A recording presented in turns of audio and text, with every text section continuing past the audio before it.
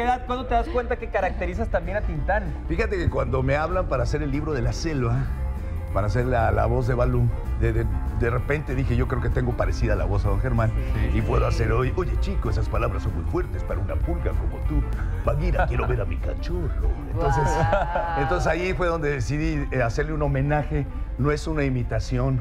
Nos parecemos un poco los Valdés, entonces digo, creo que podemos hacer algo. Y le grabé un disco que se titula Personalidad, de vamos a cantar bonita y algunas Ah, canciones lindas. Padre. Para mí, don Germán ha sido uno de los mejores cómicos que ha tenido. Claro, así qué es. placer de verdad El que estés mejor. con nosotros. Pues hoy justamente vamos a rendir homenaje a Germán Valdés.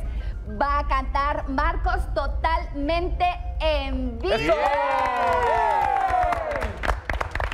Y bueno, ¿qué les parece? Ya comenzamos.